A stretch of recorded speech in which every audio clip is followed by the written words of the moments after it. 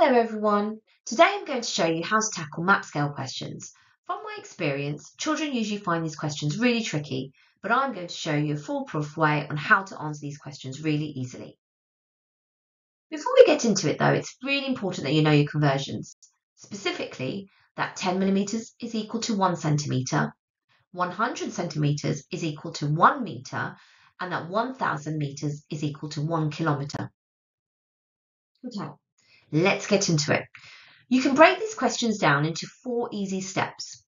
The first step is to add the unit centimetres in the map scale given.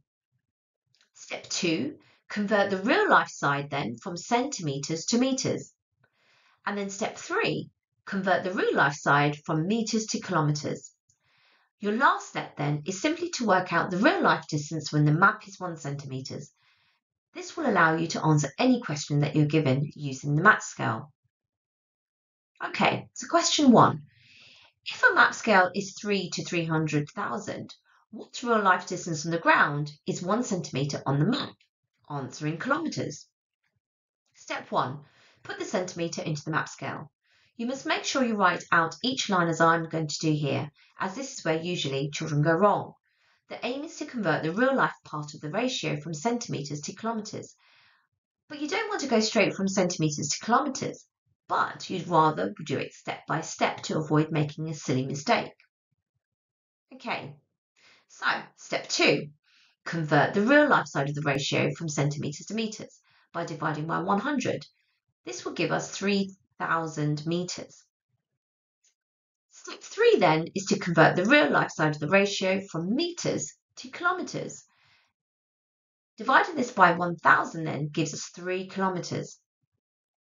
And then lastly, to answer any question given, calculate the real distance when the map is 1 centimetre.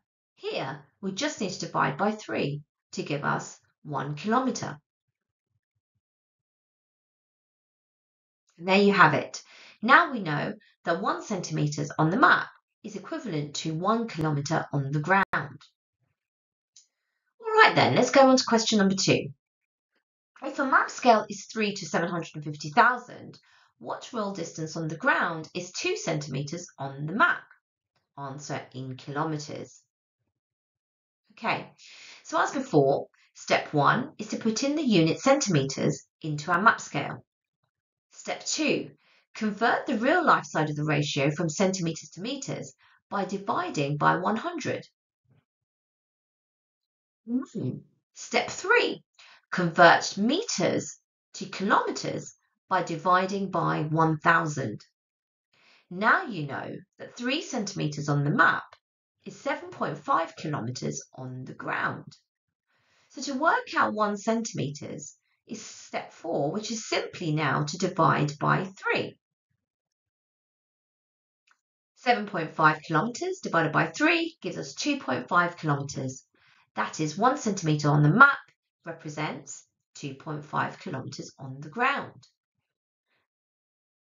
So to work out what 2 centimetres would be in real life, we can simply multiply this by 2, giving us 5 kilometres. And there you have it. Now we've actually answered the question. 2 centimetres on the map is equivalent to 5 kilometres on the ground. And there you have it, how to tackle map scale questions. As you can see, it really isn't difficult. The trick as usual with maths is to be organised. Put the header map and real life on top of your scale, particularly when you're practicing so you can keep track of what you're looking at.